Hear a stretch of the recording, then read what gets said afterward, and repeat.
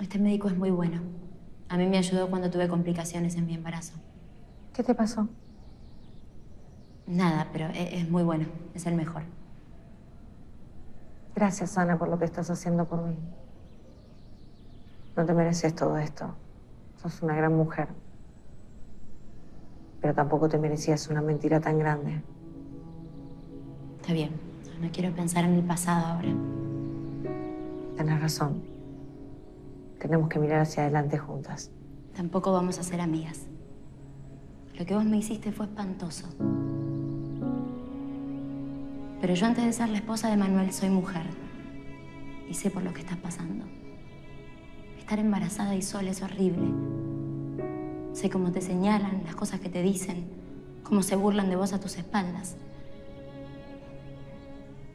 Tienes razón, la gente es muy cruel, Ana.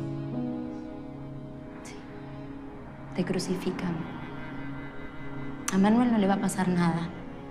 Manuel va a ser un héroe que tiene una fábrica de chicos, pero vos, a vos te van a decir de todo. Y a tu hijo, no se enteren que no es un fruto de un matrimonio, lo van a tratar muy diferente. Por eso yo no te quiero dejar sola.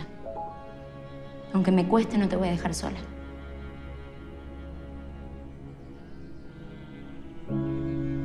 No vamos a hablar más de Manuel. Yo te lo prometo.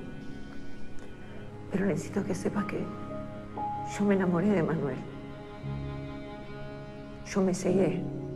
Y ese fue mi error. Ya está. Perdón.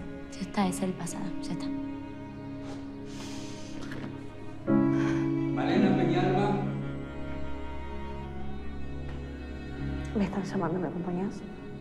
No. No, no, anda vos sola. Yo te espero acá.